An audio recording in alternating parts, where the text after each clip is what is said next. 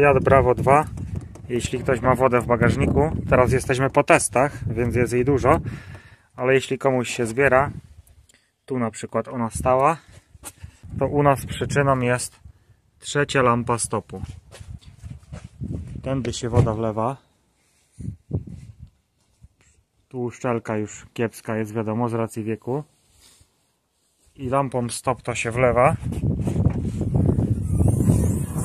I płynie tu plastikiem. Tu, potem tu jest ten czarny plastik, bo my go już zdjęliśmy. I tu się kończy ten plastik.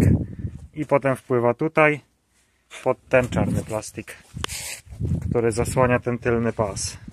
I płynie sobie tam do bagażnika.